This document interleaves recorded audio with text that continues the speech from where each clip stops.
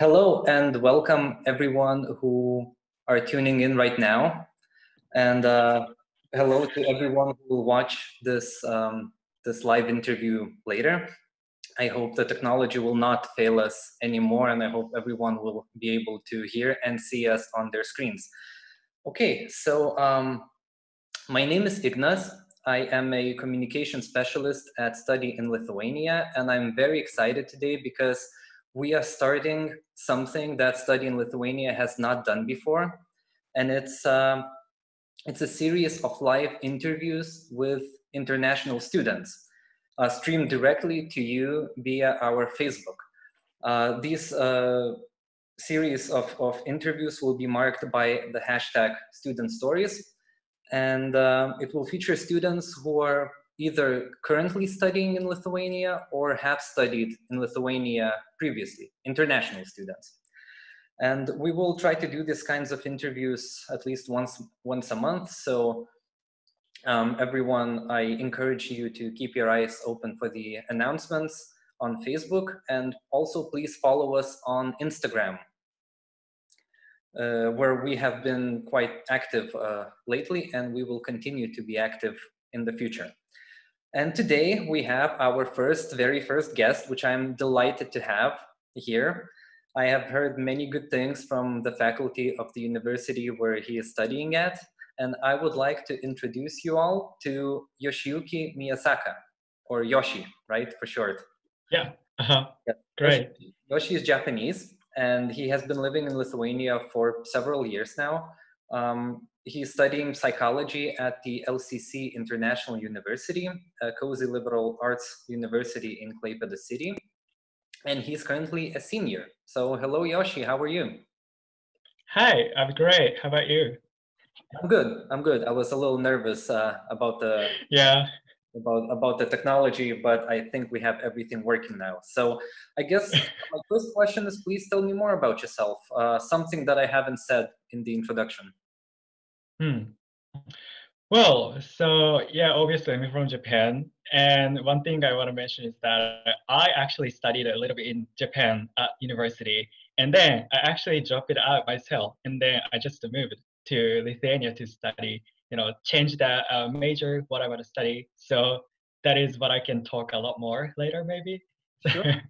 I guess tell me, um, how did you first find out about study opportunities in Lithuania and why did you choose Lithuania out of all places hmm. for your study abroad experience? Hmm. Sure.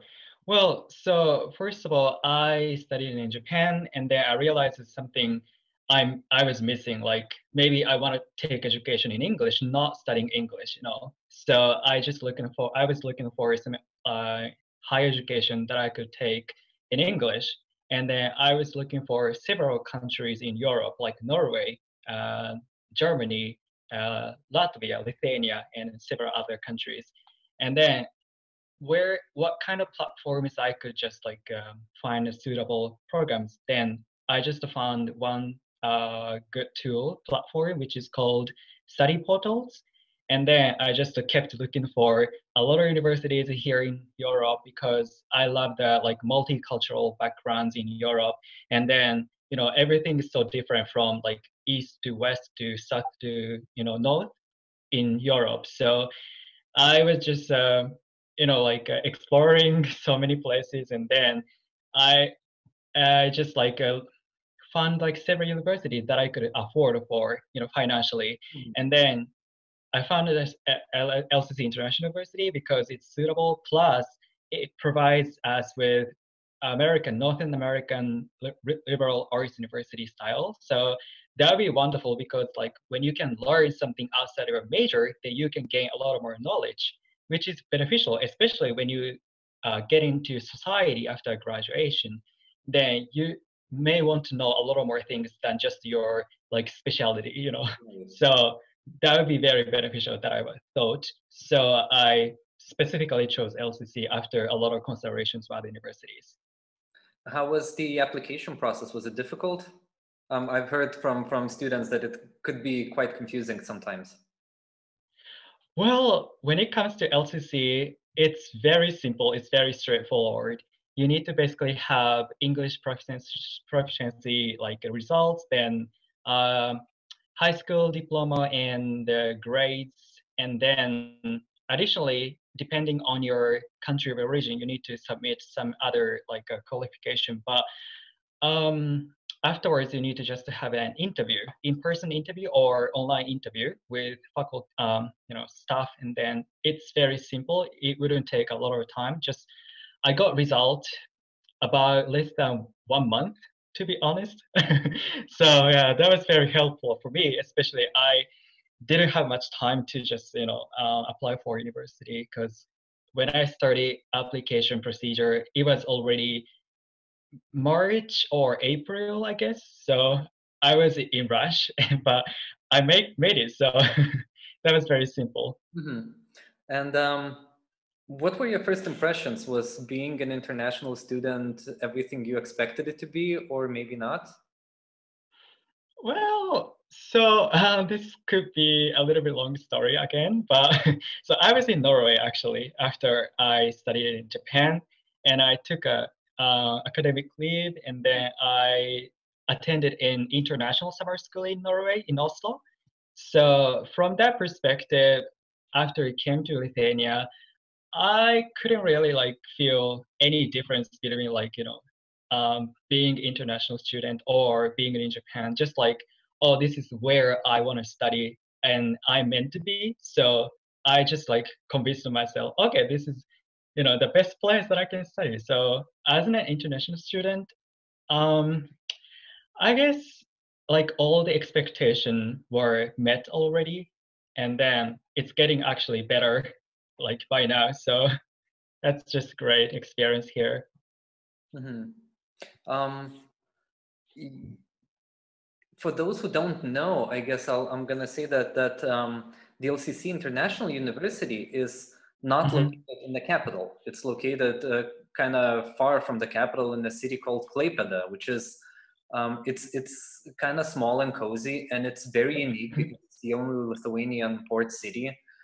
Um, yeah. I guess uh, how how do you feel about living in a place that's uh, well, it's not the you know it's it's it's it's uh, a lot smaller, even though it's like a third uh, biggest city in Lithuania. Yeah, so basically, I'm not a city boy at all. I prefer like nature-based place, and Klaipeda is perfect because uh, the Baltic Sea is nearby, and, and then when you go, you know, take a walk, go for a walk, and then you can get into forest very easily, very closely. So that's the best thing that I study here in Klaipeda, even though that city is not really big, and but still, you know, when you study, you wouldn't have like a lot of time to explore a city that much. So I guess it's also a good thing, you know, for international students because you can concentrate on studying, but still you can engage in like student community or local communities. So it's just like very good balance between, you know, like hanging out, like having personal life and academic life. So mm-hmm. I think living in like relatively small cities is just great for students, I guess. So yeah, I, I don't complain about it. I agree. Actually, I I really like Klaipeda because of that balance uh, between nature and, yeah. and a city. You know, it's it's it's just big enough um, to for yeah. Not to feel like you're living in a village, but it's you know it's it, it has as you said the sea is right there, the the forests are there, and uh, I'm I'm from the capital from from Vilnius. Mm-hmm. I you yeah. know I but I really do enjoy Klaipeda. Um, how, how do you feel about uh, the study program that you chose? Did it did it do you think it met your expectations? Absolutely, it did. It did meet my expectations like fully, because okay, I wanted to be a teacher first of all, but like uh, when I chose psychology after I changed my you know future career, I realized studying psychology at LCC International University like gives students so many different perspectives like human lives like it's even beyond like you can apply knowledge and skills like that you can learn from like all the professors into your actual life. Like what kind of uh, functions do you you know like cognitive function like linguistic function like biological social cultural traditional historical everything you can just learn then you can just you know put in your practice. So it's just amazing. You are learning not only academic stuff, but also how to live as a person, you know, in you know coexistence with other humans, you know, in society, which is great. So all my expectations, you know, were met by learning psychology at LCC. Mm-hmm. Um, now my question is, uh, Japan is very far from Lithuania, but yeah. I am told by many students actually, and, and, and just people in general, that the two cultures are similar in many ways. And I mm-hmm. wanted to know culturally, do you do you find that to be true, or maybe not? well, uh, so I guess from my pers- in my opinion, from my perspective, well, um, I guess from my eyes, Lithuanian people are a little bit um, shy and, and looks a little bit cold. And then I guess Japanese people seem like a little bit cold, like from you know foreigners' perspective, because they are shy. They don't know how to speak English in many cases, so they just like tend to you know feel afraid in a way. So I kind of sensed that, and uh, I felt pretty close to their mentality. I mean, when I learned like Lithuanian history and cultural, you know, perspective, backgrounds, then I understood why Lithuanian people's like mentality are a little bit different from Japanese people. But when it comes to my impression, like first impression, well, yeah, it's pretty similar. And cultural sphere of similarity, I guess like politeness, because I found Lithuanian people pretty polite to like strangers i guess. Not like really like too friendly but try to like keep distance appropriately and which i really appreciate. I i just like have a very specific personal space so when i uh, uh interact with local people here in Klaipeda, i feel like okay yeah i can feel like you know appropriate like um you know cl- um distance and which is great. Just respect each other no matter where you're from so i just like that atmosphere and I find it pretty similar to Japanese culture, I guess. What do you like the most about Lithuania? Oh, well, food. because Lithuania cuisine is, oh my goodness, that is wonderful. Like cepelinai and like uh, kibinas, blivine, bline, a lot of more like potato-based like uh, cuisines, like foods. But like, oh my goodness, that's so great, especially soups. Like Lithuania has different variety of foods, and I wouldn't, you know, get never bored at all. So that's one of my favorite thing, and one of the best things about Lithuania, I guess. I have a lot of more things like um, music. It's I guess a little bit minor to talk about music, Lithuanian music, like because I'm pretty into classical music, and there's one famous uh, Lithuanian classical musician who is called I can't I can't pronounce well, but uh, Čiurlionis.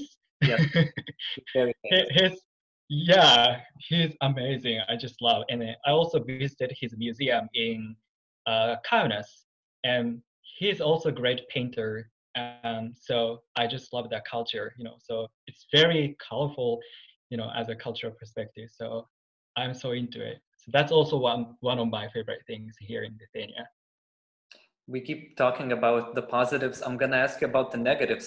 I'm just going to announce one. Um, I see that we have a few questions um, okay. from viewers that, that are um, watching this, but they're asking, you know, how to apply and uh, what's the living cost and the job opportunities. I'm just going to announce that all of those things, everyone who's mm-hmm. been watching our, our talk, all of those answers you can find on our website, which is www.studyin.lt and there you can find everything about the application procedures and the, the tuition fees um, job opportunities you can find a list of universities and a list of uh, 500 plus study programs uh, that foreign students can choose from. So everyone just browse the website and many of your questions will be answered. And now back to yoshi. I'm gonna ask you this. What was or still is the hardest thing for you to face um, as an international student living abroad? Yeah well obviously it's language barrier because i took one semester Lithuanian course, and I, I was pretty confident in speaking Lithuanian like during the first year, and then afterwards, like other courses became a little more intense, and I had to focus more on you know my major courses. So, uh, you know, naturally, my Lithuanian language level is like getting decreases. So that that makes my life here in general a little bit more challenging because whenever I need to do something official, I couldn't like get what kind of things I have to say like formally. So I needed like help from my like Lithuanian friends or you know office like uh, staff. So that is a challenge to be an international student abroad, I guess. Um, well, I also it depends on the person or you know person's personality or characteristics. But if um, you're not familiar with like uh, sort of like a monocultural historical background country like you know and if the country doesn't really have like diverse uh, population like um, asian people black people or arab people then you would feel a little bit you know um, more nervous or kind of scared to you know be outside because people don't judge you people don't assault you at all. Just you know feel like oh you're so like you know rare unique. So that could be you know maybe negative side of like life in abroad as an international student i would say. Right i guess uh, sort of uh, sticking out is is you know it could it could make people nervous that's right. Um, yeah. how about your studies? Um it's you're a senior now is are the studies difficult? And don't tell me they're not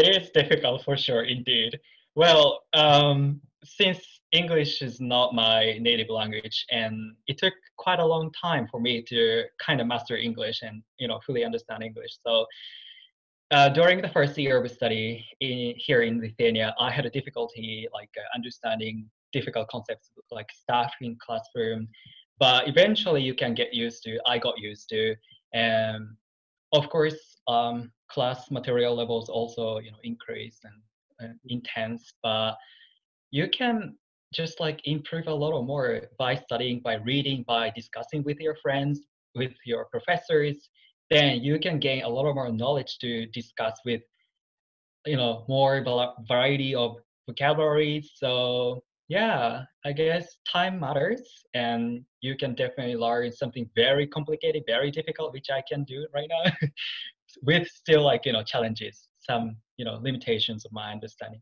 But definitely it's possible and yeah even though it's difficult. Um, i asked you uh, what did you like the most about lithuania? I'm gonna ask you what don't you like about lithuania? And be open you're not gonna offend me or anybody but um, when it's not a perfect country um, what, yeah. what don't you like about lithuania? Mm, well as i mentioned a little bit earlier so quite a lot of people here in lithuania are not used to seeing foreigners, like Asian people or Black people. So sometimes I feel like, okay, people stare at me very, you know, like harshly. so I feel a little bit uncomfortable. And yeah, as I said, time matters. You can get used to, or people here can get used to it. Or even though none of us can, you know, you can get used to it, still it's okay because you can learn something different, like you know, um, cultural atmosphere, you know, and how Lithuanian people perceive you. And I myself perceive Lithuanian people both positively and negatively, which is great, which is a great life, like, you know, learning. So I would say it's a negative thing, but I sometimes feel, okay, what I, you know, Lithuania had a little more, you know, diverse populations, you know, along with me, that'd be a lot easier to live here, you know, have a like international community, you know, so yeah that's one thing i guess. I guess that's that's what uh, we do here is is encourage more foreign students yeah. to, to come to lithuania and to you know to experience higher education abroad here instead yeah. of instead of anywhere else um, we have one question from the audience which is asking mm-hmm. have you tried japanese food in lithuania okay so this is a pure challenge so during the first two years here in Lithuania, I couldn't get great Japanese food besides sushi. Uh, even though I feel like sushi here in Lithuania is still um, not authentic, but I really enjoy eating sushi here in Lithuania because it's you know it's Lithuania version sushi and it's tasty anyway. So I love it. And then like from the third year of studying here in Lithuania, I found pretty good uh, restaurants in Klaipeda. you know, so I guess you can explore and try out a lot of new different restaurants like local food, like um, you know shops, and then just like compare and try explore you can find your own like favorite like national cuisine from your country of origin so it's not difficult anymore it was difficult but i can eat quite a good quality of japanese food here so that's great um what are your plans in the future i mean you once you once you graduate um, in mm-hmm. lithuania mm-hmm. do you consider staying here or do you think you will go back to your country or maybe you have other plans yeah. So my first plan is to study for master's program to get further education.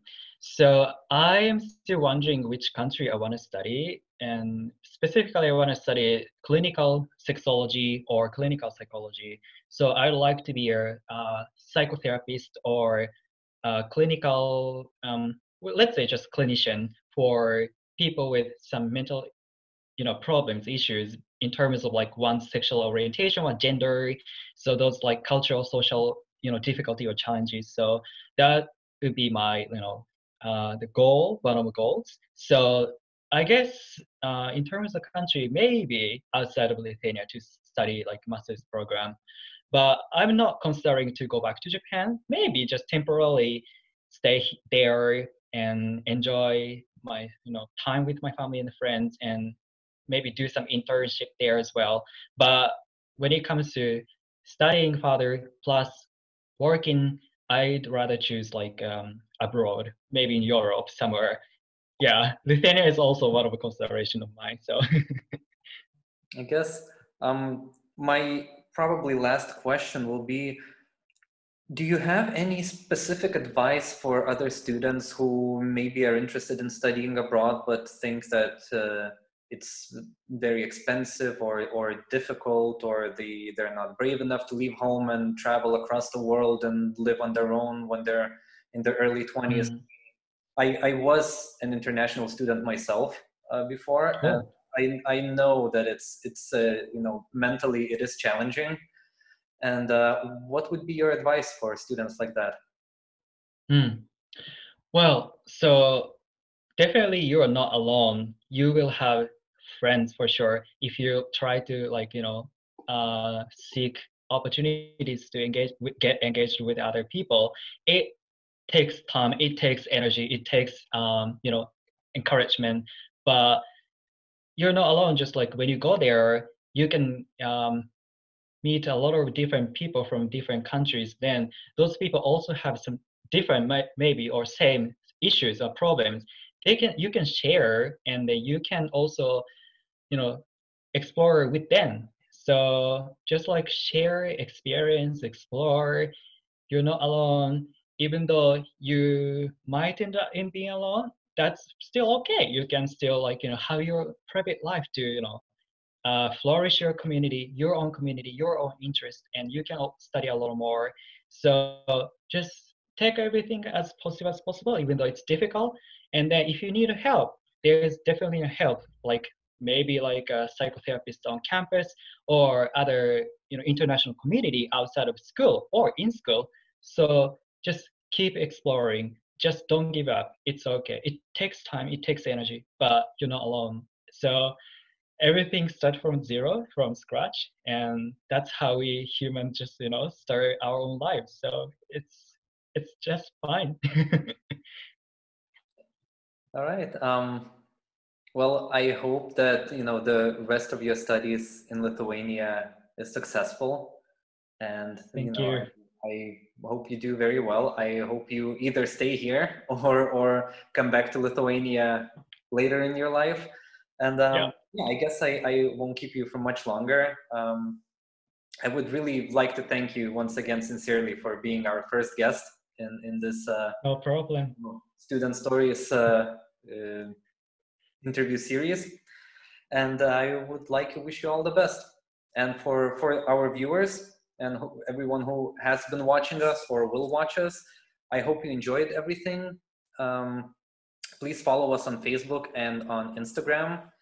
For more information about Lithuanian higher education, study opportunities, details on applying, uh, student success stories, uh, Lithuanian daily life, and, and much, much more. So, right. I see. Thank you, Yoshi. Have a good day. And Thank you. see everybody uh, next time.